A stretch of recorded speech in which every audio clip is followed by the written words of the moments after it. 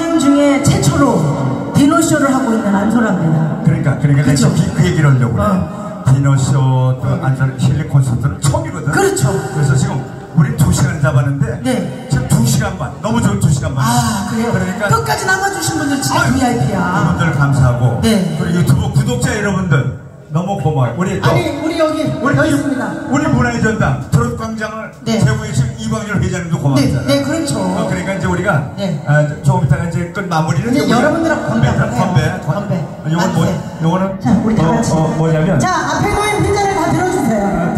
와주신 여러분들의 만수무강을 기원할 아니 때. 방송을 기원하는데 안소라 씨 우리 우리 이제 국악인이야 가수 아니야 오늘 노래 했잖아 네. 부드럽게 우리 잔을 들었으니까 네. 안소라 씨 나무는 드숑 불러서 발음으로 어, 네. 드숑으로 여러분들 마셔야 돼 마셔야 되니까 그래요. 마숑 요 코스를 잘해야 돼 그래, 그래, 얼마나 해보시죠. 잘하지 자. 자 크게 잘 해야 돼 우리는 제가 먼저 해? 먼저 이제 그럼 같이 해요. 같이 해요 시작.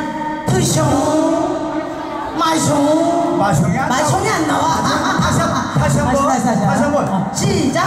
투숑 마숑 나오네 나와 나와 나와 나와. 원샷 원샷.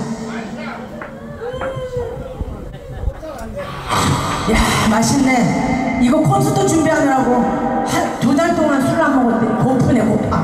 반샷 반샷이네 원샷이네 이거 오라버니 다 드세요. 자, 그래서 네.